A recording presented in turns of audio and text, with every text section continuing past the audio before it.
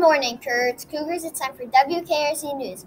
Today is Thursday, October 24th, 2019. I'm Jake Jagelski. And I'm Dean Baker. Happy Thursday.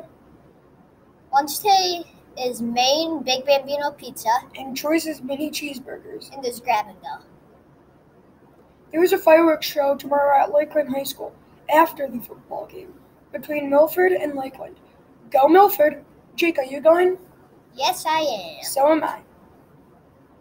Today is a B day, and tomorrow will be a C day. There are no Kurtz birthdays today. The Detroit Red Wings lost against the Vancouver Canucks 5 to 2 last night. The Red Wings are now 3 and 6 on the season. Now please stand for the Pledge of Allegiance. I pledge allegiance to the flag of the United States of America and to the republic for which it stands, one nation, under God, indivisible, with liberty and justice for all.